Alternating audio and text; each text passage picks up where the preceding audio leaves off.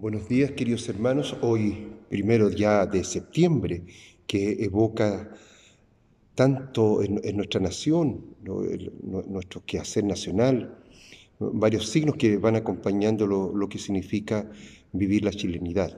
Una de las dimensiones propias de la chilenidad es tener este amor a la patria, que es amor al Padre Dios, de ahí patris.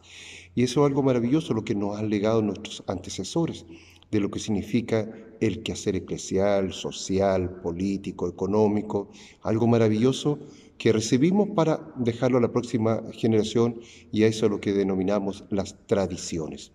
El Evangelio de hoy día nos muestra cómo eh, Jesús nuevamente es increpado por los demonios.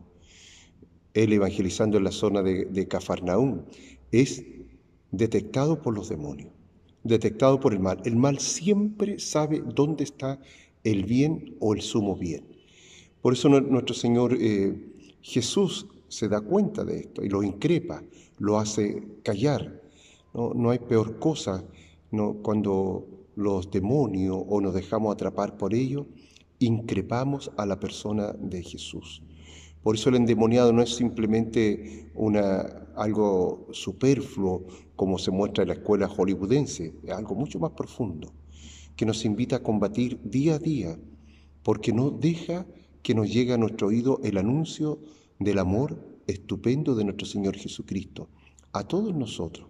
Tenemos un amor maravilloso que nos hace querer a nuestra nación, a nuestra patria. El demonio, lo demoníaco, que nos hace destruir, a increparnos unos con otros, a no gestar país, no, a no gestar nación, sino a descalificarnos. Que el Señor nos dé su gracia para poder construir nación, construir país. Que el Señor les bendiga, tengan un muy buen día.